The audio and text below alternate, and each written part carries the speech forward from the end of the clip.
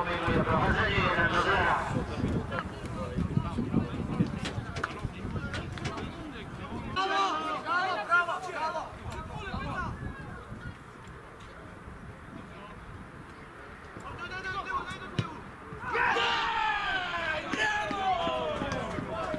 W 31 minucie Sokół obejmuje prowadzenie 2 do 0.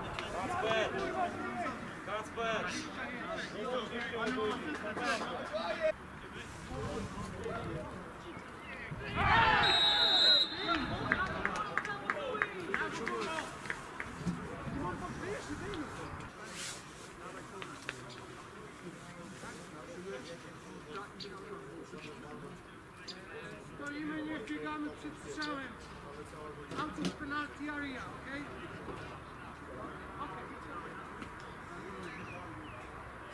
Stoimy do strzału.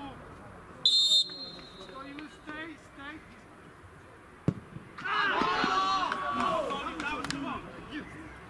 W 47 minucie Sokół obejmuje prowadzenie 3 do 0.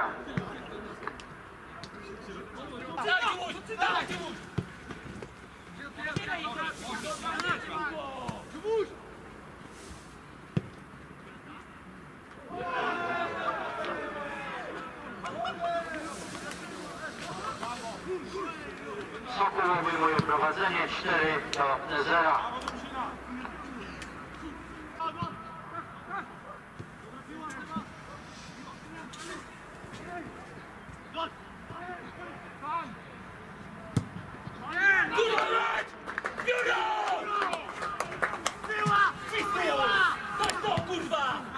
Bramkę dla gospodarzy strzelił zawodnik numerem 11 Juri Rozobow.